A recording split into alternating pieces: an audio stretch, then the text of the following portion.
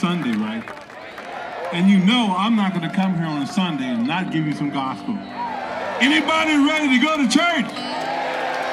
All right, let's give it to them.